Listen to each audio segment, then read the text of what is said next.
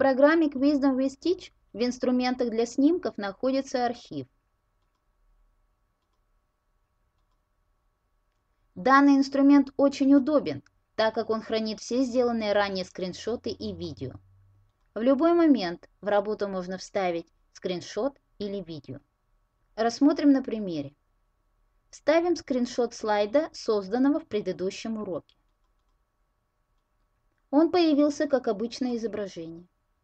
И используя значок настроек, с ним можно работать как с любым изображением.